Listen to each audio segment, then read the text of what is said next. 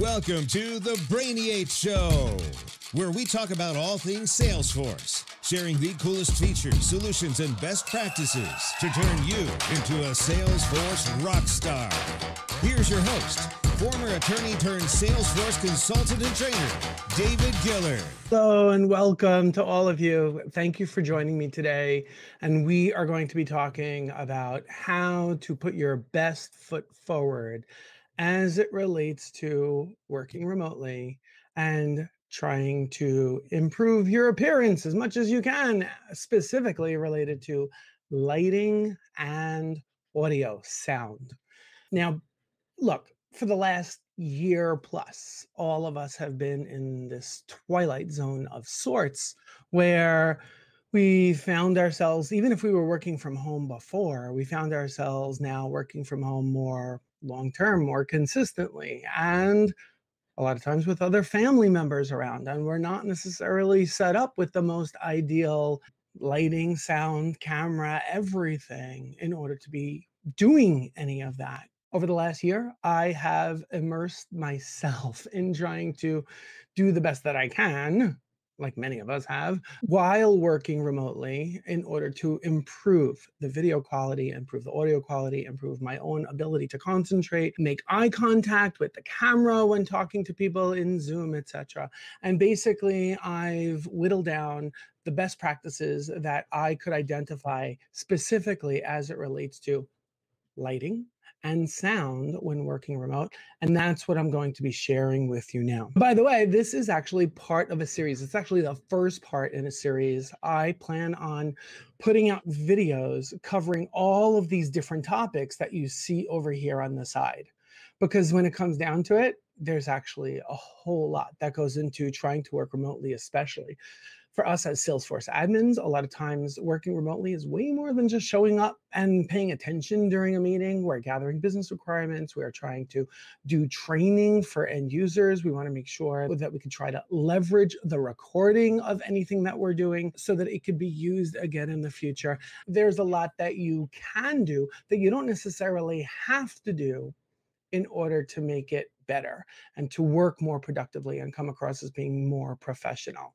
So this is really the first in a series, as you can see right here. I recently got approved on Amazon to be uh, what they call an Amazon influencer.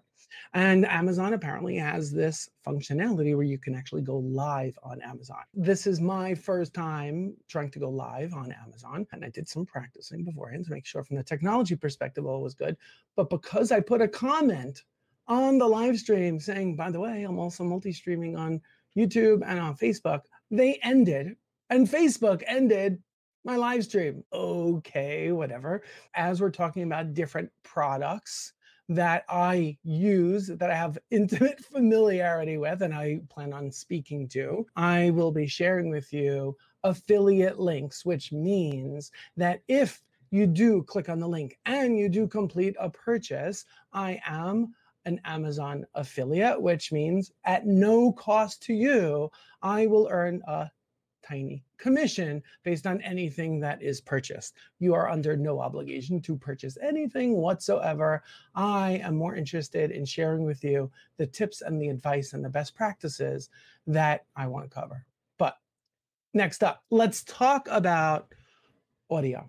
So, as it relates to looking your best and sounding your best, first we need to really just focus on audio. Why is it that we need to focus more on audio? Because as much as image quality matters, and yes, visualization is a huge component in like body language, non-verbal communication is a huge component in communication, but people remember the audio tremendously.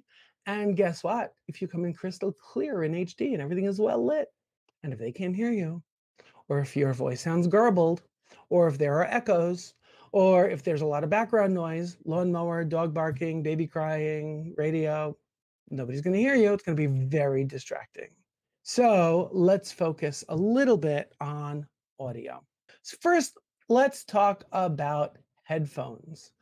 Why is it so important to focus on headphones? And by the way, some of you might be wondering, David, you don't seem to be wearing headphones right now. I'm going to get to that. Don't worry.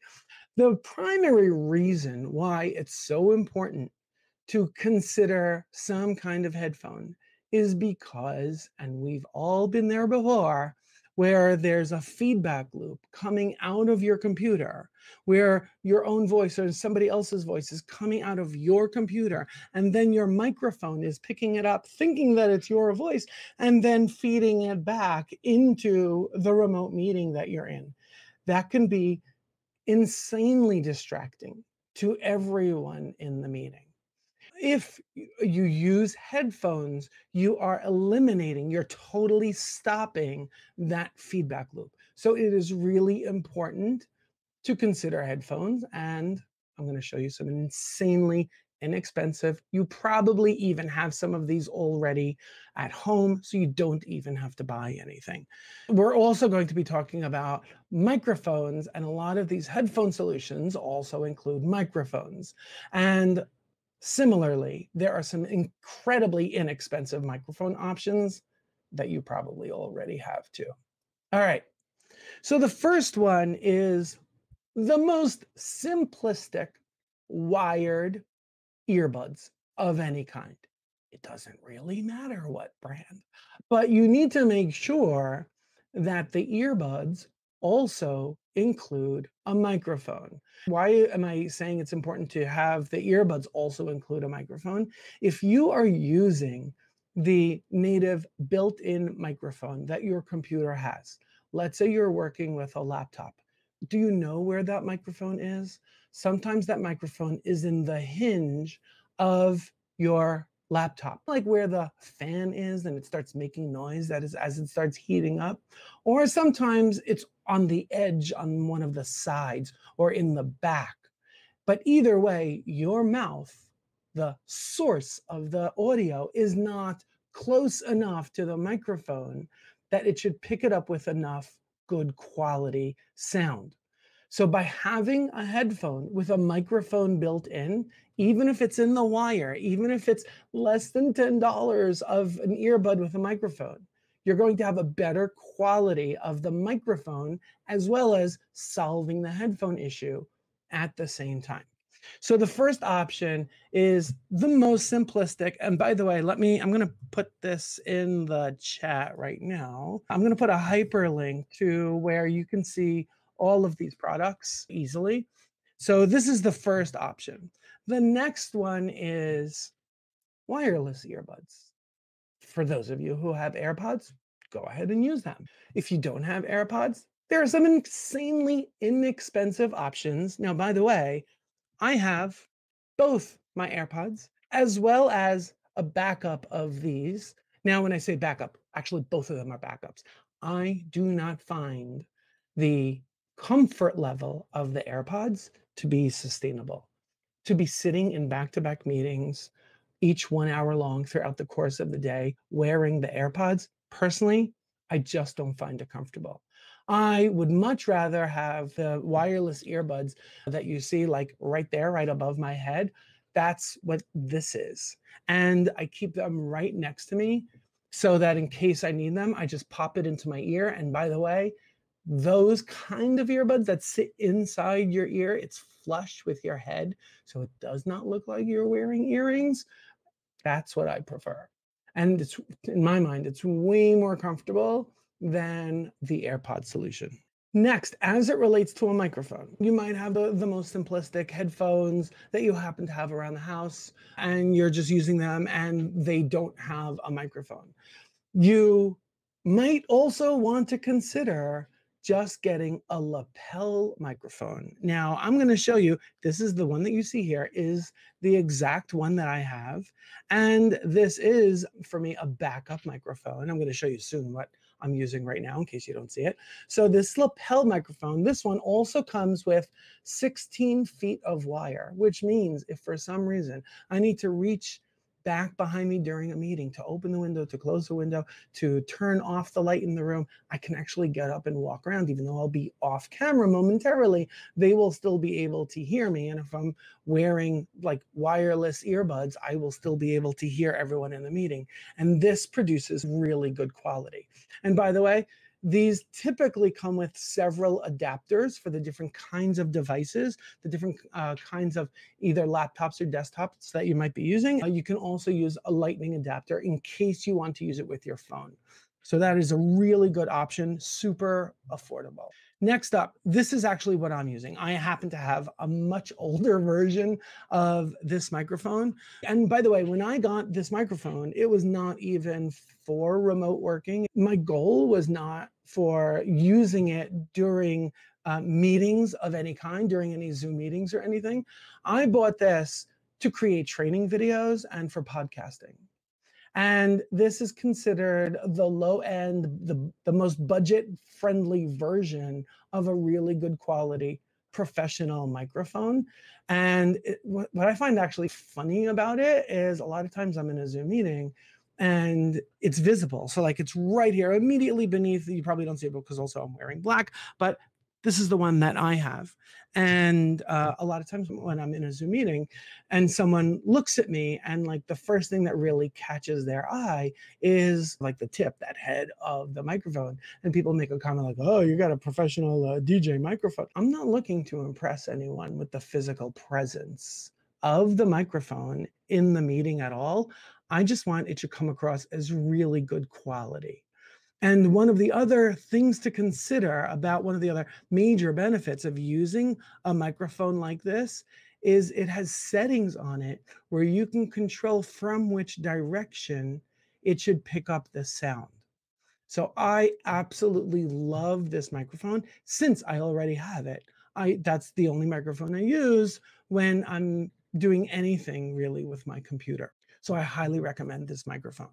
All right, now that we've talked about being able to hear other people in the meeting and that they should be able to hear you, let's talk about the other distracting noises that might be within your environment that those other meeting participants that you're meeting with they are getting distracted by those sounds and you might may or may not like the way it comes across when could be kids fighting, it could be the dog barking, it could be the baby crying, or a neighbor living upstairs or downstairs playing loud music, and people can hear it in your meetings.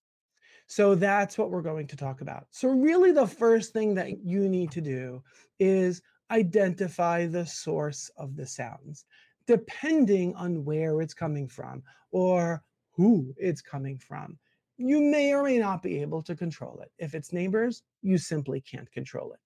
If it's your own kids who are doing school remotely in the room next door, or your significant other who's also working from home, okay, then maybe A, you can negotiate a little bit in terms of space if you do have the space available where, hey, I'll take this space as my working space, and you take that space as your working space.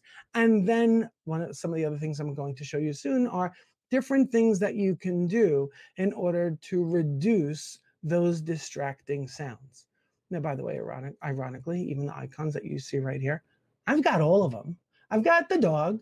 I've got my granddaughter who for the past year, my married daughter, my son in law, and my granddaughter have been living more with us than in their own apartment. And of course, there's always someone either putting on music or using the blender or doing something else within the house. So I am intimately familiar with the kind of pain that gets introduced by having all of this. So the first thing, believe it or not, don't be shocked by this. This is actually an insanely inexpensive and flexible solution.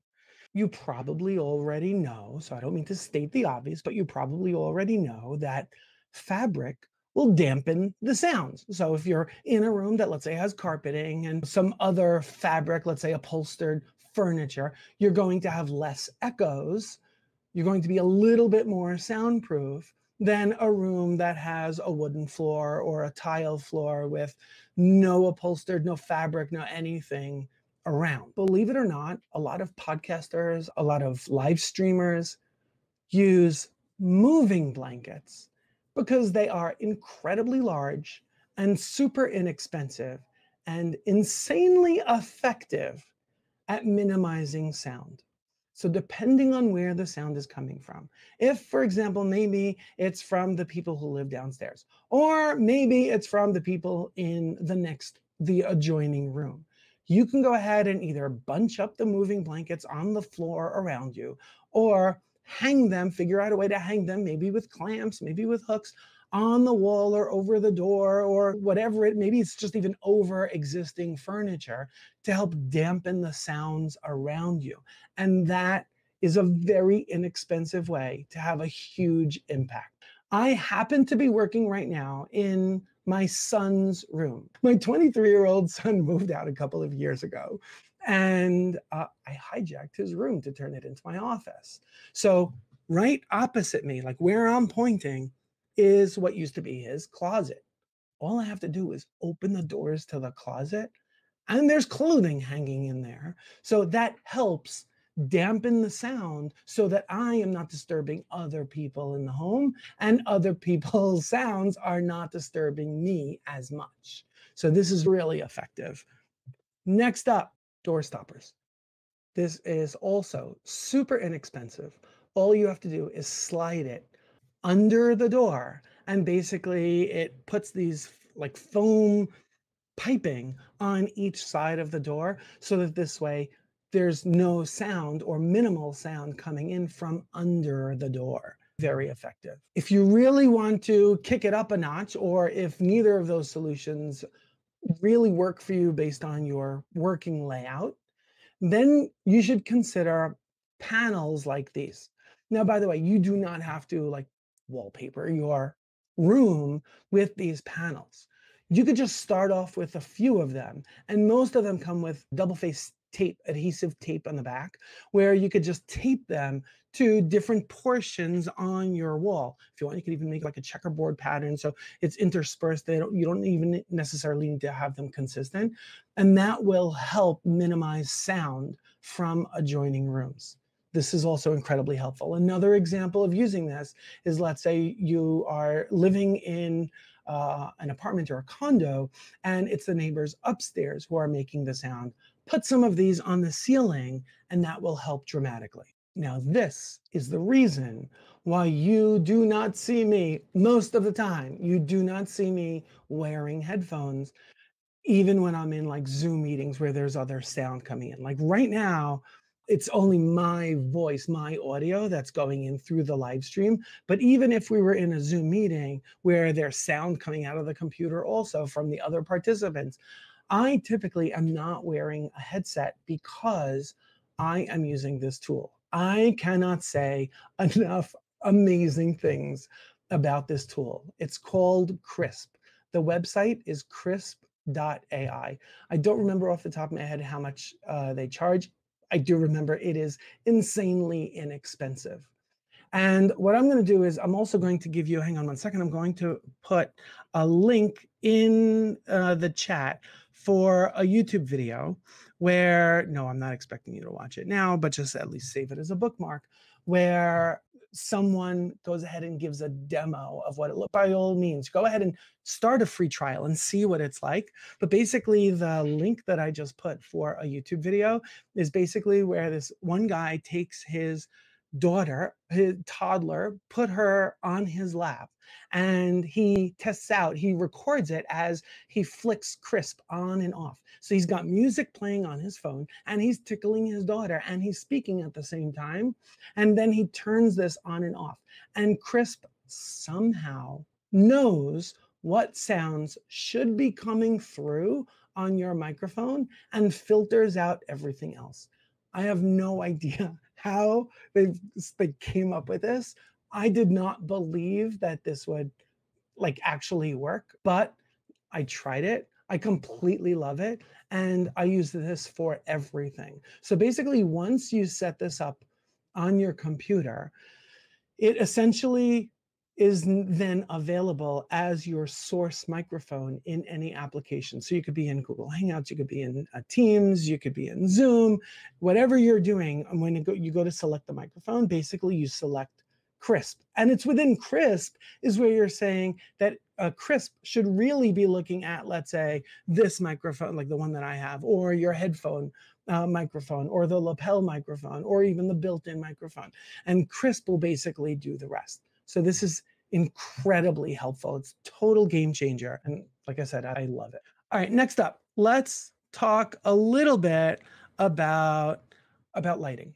And the first thing that I'm going to say is, hey, natural lighting, it's free.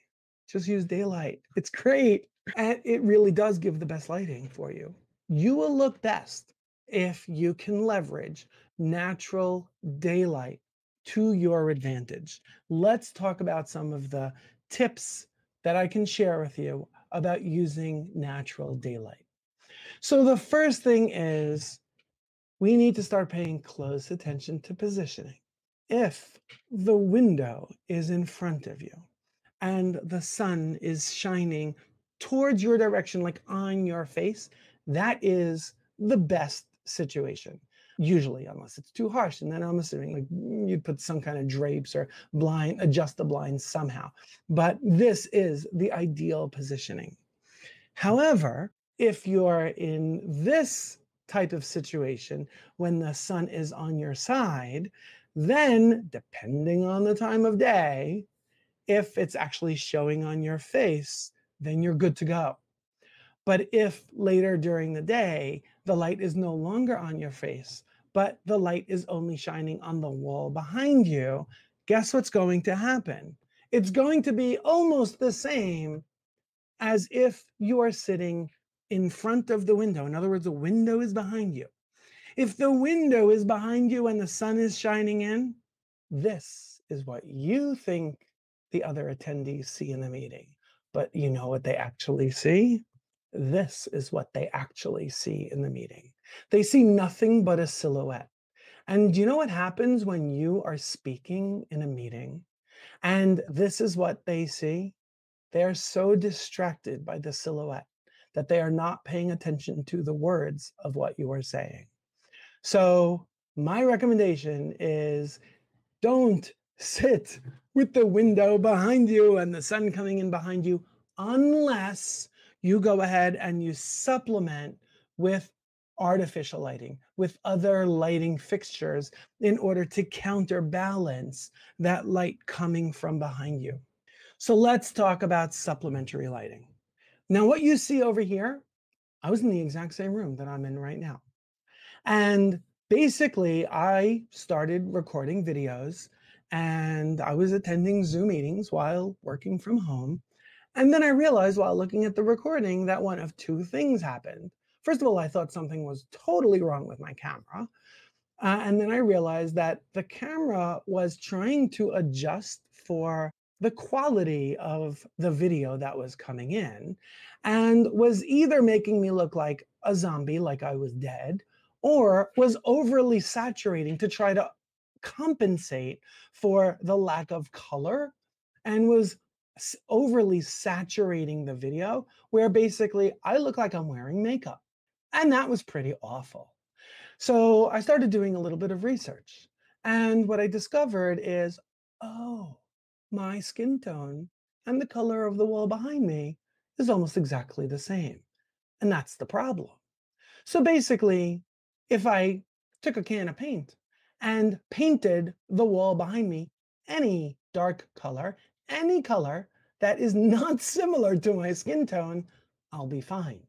But before I went ahead and invested in a can of paint, I'm not the most handy kind of person. When it comes to technology, I'm all in. But when it comes to doing things with hammers or saws or paintbrushes and cans of paint, I am a total klutz. So I decided before doing that, I was going to explore some options with lighting. What you see right now and what I'm using at this very moment it is the exact same wall that's behind me.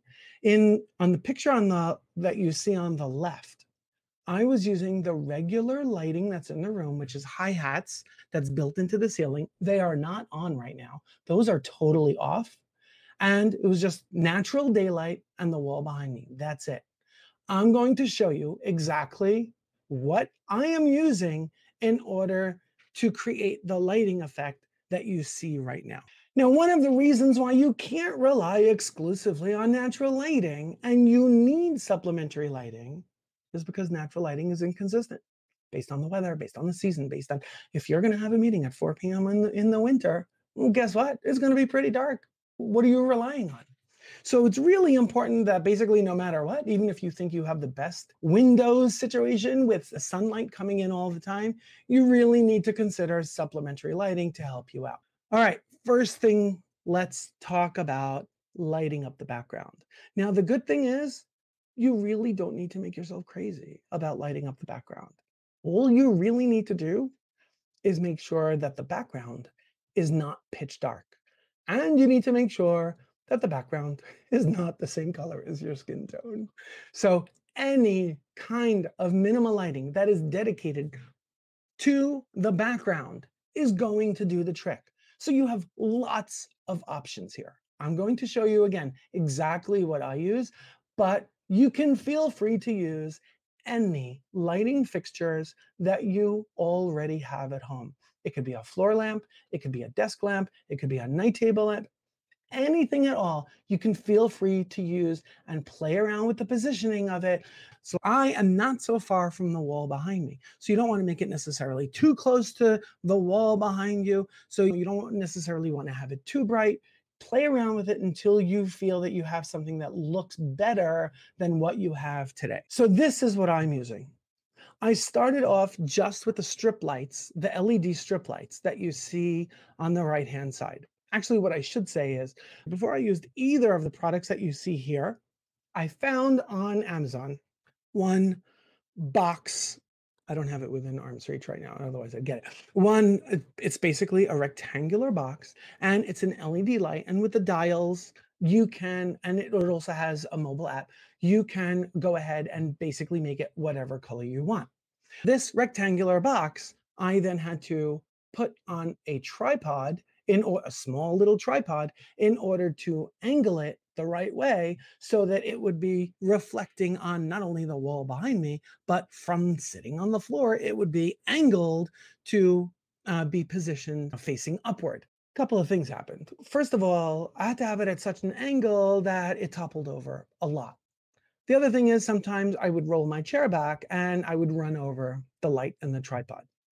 The other thing was I would sometimes finish meetings and forget that the light was on behind me and the light was on for far more hours than it really needed to be. One of the things that I realized is that I needed an easy way to just get all of my what I call studio lights, the dedicated lights that I need for Zoom meetings, for creating recordings, for creating YouTube videos, easily turned on or off on a dime. And basically, what I realized is I have an Amazon device where I can articulate a quick command, and all of the lights that I want to go on will simply go on, and all of the lights that I need to go off would simply go off. It would all just happen immediately. So I realized that I needed some options that were compatible with the Amazon device. So both of these options actually fit the bill. So the first I started off with the strip light, the LED strip light that you see over here. And basically, I have it on the floor going behind me. I actually also have a green screen. I am not using the green screen right now, but I have a green screen over here behind me. And it's basically, I'll describe it as a reverse window shade where it's coming from the bottom. So it's a long rectangular, sort of like a pole sitting on the floor. And essentially, I pull it up and it stands up and basically pop it down. So why am I describing this to you? Because the LED light strips, basically, I taped it to be around the perimeter of the entire case for the green screen, which means it is perfectly diagonal to be facing the wall behind me, diagonally facing upward a little bit.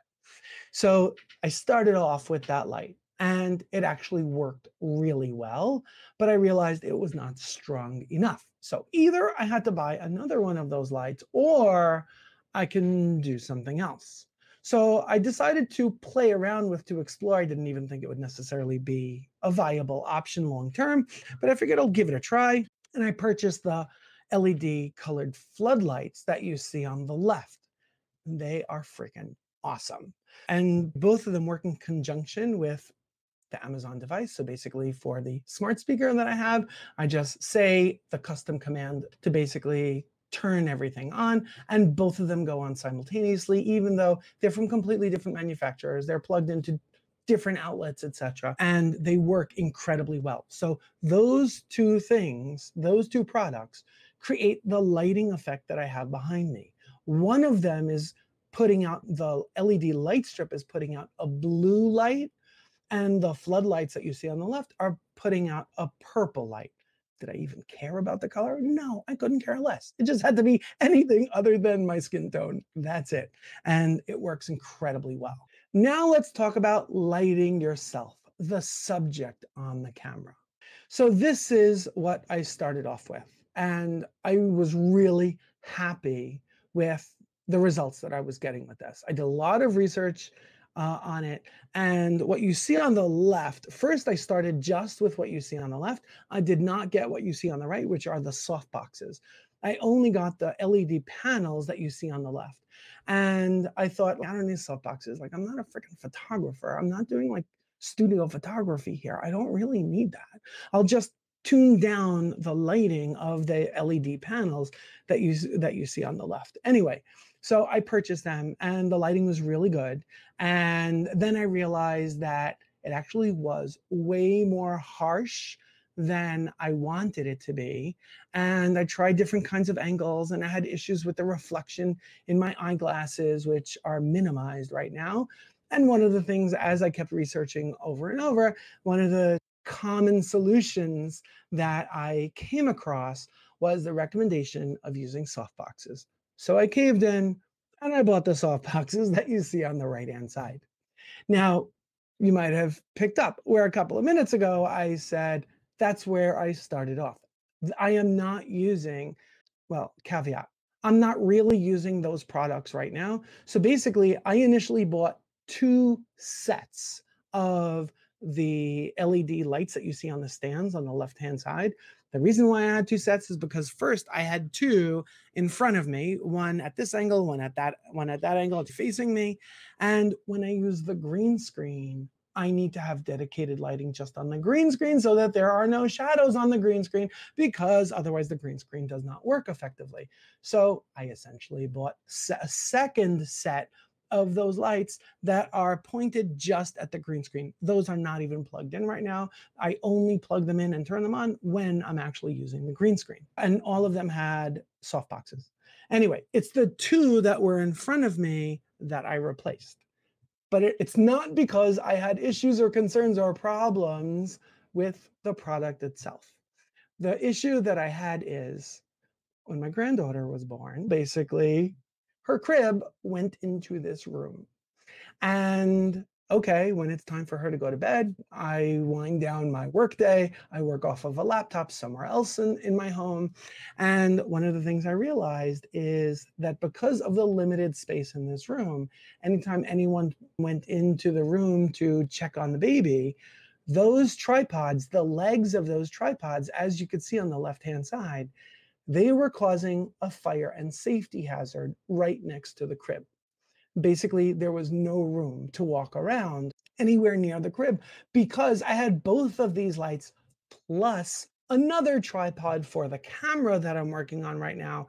And I also have a teleprompter. No, I'm not reading off of the script right now, but I am using a teleprompter right now. So that's another tripod. So basically I had three tripods all right next to the crib. And I felt that it was absolutely not safe. So that's when I got rid of those LED lights that I'm showing you right now, which I still highly recommend. And I ended up having to pay more for not only other lights, uh, but more expensive lights, which I absolutely love. So these lights, I have two of them. So this is the Elgato key light. And this is basically a light that was made for gamers and live streamers. And this is not sitting on a tripod. As you can see from the image over here, this is simply clamped to my desk. So it is taking up zero floor space. So just mm. imagine, I'm going to go back one screen. So I had both of those tripods plus the other tripod that's for the camera in front of me taking up floor space. And now both of those tripods are totally gone. So this solved the safety and fire hazard issue that I was very concerned with. And this is a fantastic light, which by the way, I can also control wirelessly. So even if right now I wanted to turn them off, all I have to do is open uh, the Elgato app on my mobile phone. I can adjust the warmth of the light. I can adjust the brightness of the light. I can turn them on or off. I can do them independently. I can do them together. So this is very powerful. Now, one other thing that you really need to think about is if, like me, you are using glasses, there's something really important you need to consider as it relates to glare. So in order to minimize the glare, you need to make sure that the light is not directly in front of you. The light needs to be angled away from you, which might sound completely absurd, but that's what you need. So right now, let's go back for a moment to look at these lights. And the truth is, I had the same kind of setup, the same angle, the same you know concept that I'm explaining to you right now. I did the exact same thing with these lights too, where I simply had them angled towards the ceiling. So they're facing the ceiling right now. They're in front of me, but facing the ceiling. By having them facing the ceiling, in order for you to see the glare that I had before, I have to do this all the way like this, and then you could actually see the glare. But just by normal talking, even looking over to this monitor or that monitor, you're going to see minimal glare by having the lights facing upward. So that's one of the reasons why utilizing home fixtures, home lighting fixtures can be a fantastic solution. If you don't wear eyeglasses, that is a totally perfect solution. And there is nothing wrong with that. And you are good to go. If you wear glasses, you need to figure out what you can do to adjust the angling, either the positioning of the lamp, the light fixture itself, or the angle of the bulb, essentially. So that's something really important to consider. All right. So that really wraps up all of the best practices and tips that I wanted to share with you as it relates to lighting and audio when working remote. And let's see if anyone has any questions. The Apollo, hang on one second. Let's do this. Are there any lower priced microphones that may be on par with the microphone you use or something similar but lower priced? What I'll say is this you can look around. I rely a lot on the reviews on Amazon, the feedback by others. And the Blue Yeti is considered a really like the, the granddaddy of high quality microphones. If you can't afford it, don't try to convince yourself that you can. Simply go with the cheapest lapel mic and you're good to go. It's a very simple solution and it totally works. And especially when you have the long wire that it comes with, you're going to be fine. And also, if you can't afford this, but you already have any type of earbud, I'm afraid to even open the case because the audio might totally get thrown off. My computer will think, oh, I just want to switch audio.